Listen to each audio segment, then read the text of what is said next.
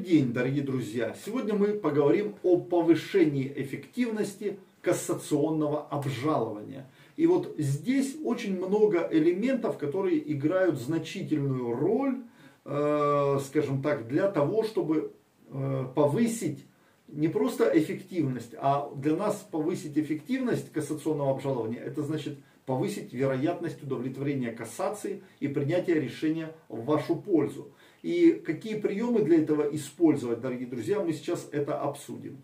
И э, я вам хочу посоветовать э, для расширения вашего кругозора, для того, чтобы быть в курсе последних новостей в мире, э, в стране и, конечно же, э, в мире новостей юридических, советую подписаться на наш новый новостной канал. Ссылочка на него в описании к видео. И подписавшись, вы будете всегда в курсе всех последних новостей, событий, которые происходят в мире.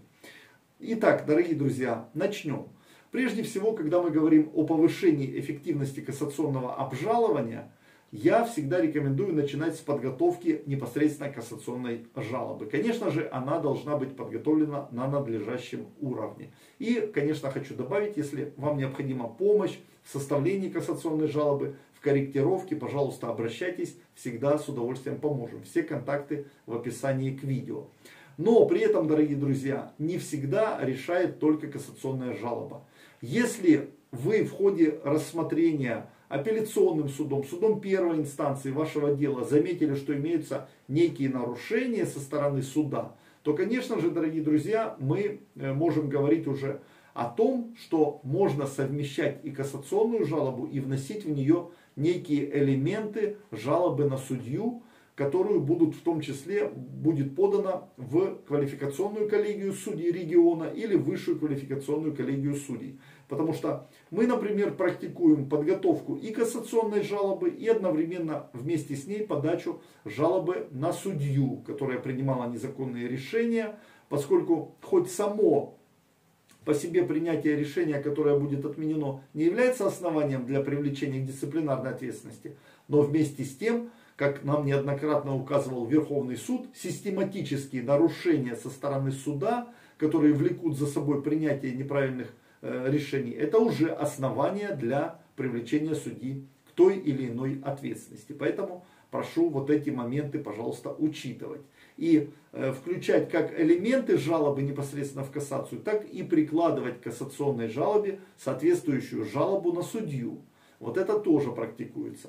При этом, дорогие друзья, вот в одном из последних дел у нас был тоже интересный прецедент, когда отказала в передаче э, дело на рассмотрение кассационной коллегии э, по гражданским делам э, Верховного суда, в передаче на рассмотрение вот этой судебной коллегии по гражданским делам Верховного суда, одна из судей Верховного суда. А мы подняли ее определение, которое она выносила по подобным делам в отношении того же истца, и оказалось, что решения переписаны слово в слово. Там только фамилии поменяли и даты. Вот и все. О каком может быть правильности принятого решения, если просто перенесено решение и так далее. И здесь мне, конечно же, вспоминается практика Верховного суда, который уже неоднократно указывал на то, что нельзя слепо и просто тупо, я извиняюсь за выражение, оно неприемлемо, но, как говорится, э слов из песни не выбросишь, иногда э, других слов просто нет. Просто взять и перенести электронный вариант того же, как в приговор переносят обвинительное заключение, или в апелляции иногда берут и просто переносят в апелляционное определение решение суда первой инстанции. О каком нормальном рассмотрении дела может идти речь? Конечно же нет, все это формализм, и об этом необходимо говорить. Вот это, дорогие друзья, те шаги, которые необходимо предпринимать для повышения роли и эффективности кассационной жалобы. Еще раз повторюсь, дорогие друзья, если вам необходима помощь в составлении исков, апелляций, кассаций, пожалуйста, обращайтесь, всегда с удовольствием поможем. Счастливо!